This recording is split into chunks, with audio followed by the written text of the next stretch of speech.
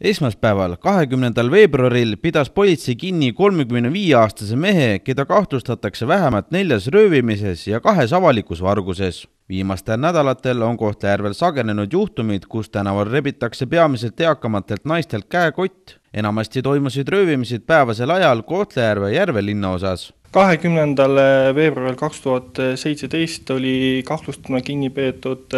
kolmekümne viie aastane meesterahvas, keda kahtlustatakse mitmetes röömistest, mis leidsid aset peamiselt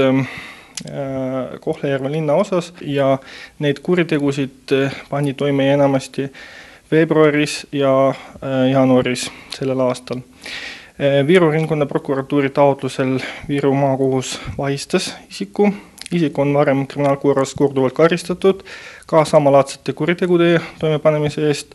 ning äh, sellest hoolimata jätkas ta kuritegude toimepanemist ja see oli alus vahistamiseks Jõhvi politseijaoskonna juhi Kalle Kuusiku sõnul oli kahtlustatava isiku kindlaks tegemine ja kiire tabamine üks peamisi eesmärke. toime pandud röövides esines sarnasusi ning mõistsime, et tõenäoliselt on tegu ühe kurjategijaga meie jaoks on tähtis kodanike ohutus ning linnatänavatel liikudes peaksid kõik end turvaliselt tundma, lisas Kuusik. politsei suurendas oma kohalolekut Kohtla-Järve tänavatel, ametnikud vestlesid süütegude võimalike pealtnägijatega ning järjekindla töö tulemusena peeti kahtlustatav kinni, sõnas Jõhvi politseijaoskonna juht politsei ja prokuratuur paluvad abi võimalike tunnistajate ja kannatanute leidmisel. kõigil, kes on näinud pealt mõnd Kohtla-Järve jaanuaris-veebruaris toime pandud röövimist või vargust eakamatelt naistelt või on leidnud naiste käekotte, mobiiltelefone või rahakotte, võta politseiga ühendust telefonidel kolm kolm seitse kaks viis kuus üheksa